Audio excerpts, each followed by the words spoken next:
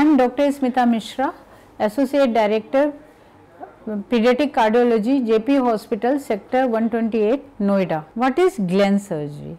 Glenn surgery here because right ventricle is not formed properly, the superior vena cava, the venous channel which brings blood from the upper part of body is directly connected to the right pulmonary artery.